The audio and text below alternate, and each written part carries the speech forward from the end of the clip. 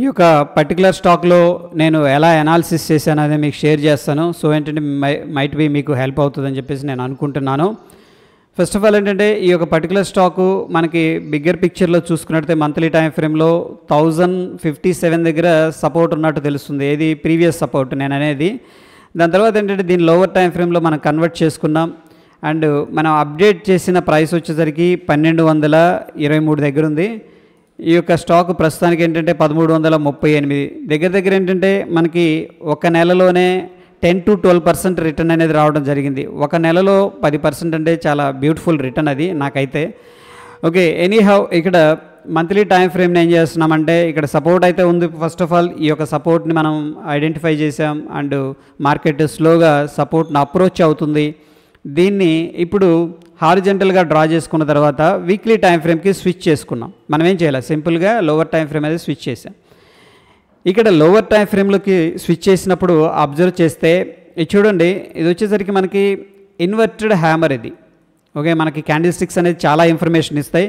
అందుకే ఎక్కువ ఏంటంటే మన టెక్నికల్ అనాలిసిస్ డిస్కస్ చేసుకునేటప్పుడు ఈ యొక్క క్యాండిల్స్ గురించి కూడా డిస్కస్ చేస్తూ ఉంటాం. దాని తర్వాత చూస్తే మళ్ళీ హ్యామర్ ఇన్వర్టెడ్ హ్యామర్ మళ్ళీ indecision candle inverted hammer inverted hammer kind of hammer మళ్ళీ హ్యామరు మళ్ళీ హ్యామరు ఈ ఫార్మేషన్స్ జరుగుతున్నాయి. ఓకే దీని అర్థం ఏంటంటే ఇక్కడ మనకి సమ్వేర్ బుల్కి బేర్కి మధ్య కొంత అన్సర్టనిటీ అనేది జరుగుతుంది వాలటాలిటీ అనేది జరుగుతుందని చెప్పేసి మనకి క్లారిటీ అయితే రావడం అనేది జరుగుతుంది. ఓకే సో నిన్న మనం ఈ యొక్క మల్టీ టైం ఫ్రేమ్ అనాలిసిస్లో లోవర్ టైం ఫ్రేమ్స్కి ఎందుకు స్విచ్ చేసుకోవాలని చెప్పేసి డీటెయిల్డ్ వీడియో అనేది చేశాను. ఆ వీడియో అనేది చూడకపోతే ఇక్కడ పైన లింక్ అనేది ప్రొవైడ్ చేస్తున్నాను. ఆ వీడియో అనేది డెఫినెట్గా చూడండి. దాని తర్వాత మనం టెక్నికల్ అనాలిసిస్లో టవర్ బాటమ్ అనే కాన్సెప్ట్ అయితే డిస్కస్ చేసుకున్నాం. ప్రస్తుతం ఏంటంటే ఈ యొక్క సపోర్ట్ని నేను డిలీట్ చేస్తున్నాను. ఈ సపోర్ట్ వల్ల మనకు ఒక క్లారిటీ వచ్చింది. ఈ సపోర్ట్ దగ్గర కొంతమంది బై చేస్తున్నారు కొంతమంది సెల్ చేస్తున్నారు. బట్ అగైన్ ఏంటంటే మనకు కొద్దిగా కన్ఫర్మేషన్ కావాలి అని చెప్పేసి.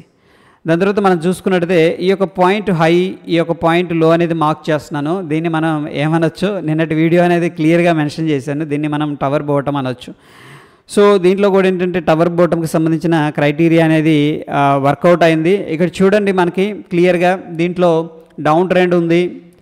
ఓకే దాని తర్వాత వెరీ బిగ్ క్యాండిల్ ఉంది. ఇదైతే very big candle and of course పైనుంచి ఓపెనింగ్ ఇక్కడ జరిగింది. దాని తర్వాత పైకి వెళ్ళింది కిందకి వెళ్ళింది. Anyhow high low mark చేసుకుంటే ఇది టవర్ క్యాండిల్ అది కూడా క్రైటీరియా సాటిస్ఫై అయింది. దాని తర్వాత ఏంటంటే మనం ముఖ్యంగా మినిమం త్రీ క్యాండిల్స్ అనేది ఇన్సైడ్ ఫార్మేషన్ జరగాలని చెప్పేసి అనుకున్నాం అనమాట ఇక్కడ ఒకటి రెండు మూడు నాలుగు ఐదు క్యాండిల్ జరిగినాయి.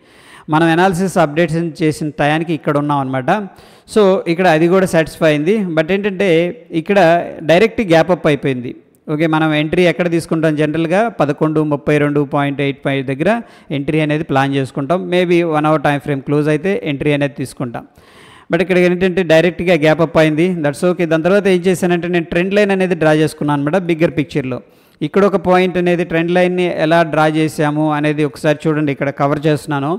ప్రీవియస్గా మనకు ఒక పీక్ పాయింట్ ఉంది ఒక పీక్ పాయింట్ దాన్ని దీన్ని కలుపుతూ డ్రా చేసుకుంటూ ఒక ట్రెండ్ లైన్ ఫార్మేషన్ అనేది జరిగింది బిగ్గర్ పిక్చర్లో ఓకే అండ్ మంత్లీ టైం ఫ్రేమ్లో ఒక సపోర్ట్ తీసుకుంటుంది. ప్రాబబిలిటీ ఉంది మనకి. అగైన్ హండ్రెడ్ పర్సెంట్ అనేది మనం గ్యారంటీ ఇవ్వలేము. ప్రాబబిలిటీ ఉంది అనమాట ఈ పాయింట్ దగ్గర బ్రేక్అవుట్ జరిగితే అక్కడ నుంచి కూడా ముందుకెళ్తుందని చెప్పేసి మనం ఎక్స్పెక్ట్ చేసుకున్నాం. సో అదేవిధంగా ఏంటంటే మనం కమ్యూనిటీలో కూడా సేమ్ వన్ మంత్ బ్యాక్ ఇది బ్రేక్అవుట్ అవ్వకముందు నేనైతే అప్డేట్ అయితే చేశాను క్లియర్గా చూడండి ఈ యొక్క పర్టికులర్ పాయింట్ని మనం అబ్జర్వ్ చేస్తే డైరెక్ట్గా స్టాక్ ఏం జరిగిందంటే సింపుల్గా చెప్పాలంటే ఒక కన్సోల్టేషన్ తీసుకుంది ఇక్కడ. కన్సోల్టేషన్ తర్వాత డైరెక్ట్గా అంటే స్ట్రాంగ్ మొమెంటం వచ్చేసింది దీంట్లోకి. ఎక్కడ బొంబాట్ చేశారంటే రెసిస్టెన్స్ లెవెల్ ఏదైతే ఉందో ట్రెండ్ లైన్ ట్రెండ్ లైన్ పైన ఓపెన్ చేశారు చాలా పైకి వెళ్ళింది మళ్ళీ కిందకు వచ్చింది. బట్ ఇక్కడ చూడండి అబ్జర్వ్ చేయండి దాని తర్వాత టూ క్యాండిల్స్ని మనం చూసుకున్నట్టే ఇవి స్పిన్నింగ్ బోటమ్స్ అంటాం. సో ఆబ్వియస్గా మనం ఈ స్పిన్నింగ్ బోటమ్స్ స్పిన్నింగ్ టాప్స్ గురించి వీడియో అనేది డీటెయిల్డ్గా చేసుకున్నాం. సో అక్కడ మనం చూసుకున్నట్టయితే ఇది ఏం రిప్రజెంట్ చేస్తుందంటే ఇండెసిషన్ అనేది రిప్రజెంట్ చేస్తుంది. So either break side up side కానీ డౌన్ సైడ్ కానీ జరిగే స్కోప్ ఉంది. బట్ అగైన్ ఏంటంటే మనకి అప్ సైడ్ అనేది జరిగిందనమాట. సో ఈవెన్ మనం ఈ పాయింట్ బ్రేక్అవుట్ దగ్గర నుంచి చూసుకున్నట్టయితే సక్సెస్ఫుల్గా మనకి దగ్గర దగ్గర థర్టీన్ పర్సెంట్ రిటర్న్ వచ్చేసింది. సో ఒకవేళ బ్రేక్అవుట్ కొద్దిగా ఎంట్రీ లేట్ అయినా త్రీ పర్సెంట్ మనం ఎక్సెప్షన్ ఇచ్చినా సరే దీంట్లో స్టిల్ ఏంటంటే ten percent return within a month అనేది రావడం అనేది జరిగిందన్నమాట ప్రస్తుతం ఉన్న ప్రైస్ ప్రకారం. ఇంకా పాజిటివ్గా దీంట్లో మొమెంటం అయితే వచ్చే స్కోప్ అయితే కనిపిస్తూ ఉంది. Okay so based on the candle ఏంటంటే ఈ యొక్క పర్టికులర్ దాంట్లో మనం ఎలా ఎంట్రీ తీసుకోవచ్చు అంటే ఇక్కడ ఈ క్యాండిల్ క్లోజ్ అయినాక తీసుకోవచ్చు. బట్ ప్రిఫరబుల్ ఏంటంటే మనం అనుకున్నాం కదా వన్ అవర్ క్యాండిల్ అనేది చూడండి అక్కడ బ్రేక్అవుట్ కానీ ఇచ్చిందంటే సక్సెస్ఫుల్గా అక్కడ ఎంట్రీ తీసుకోవచ్చు.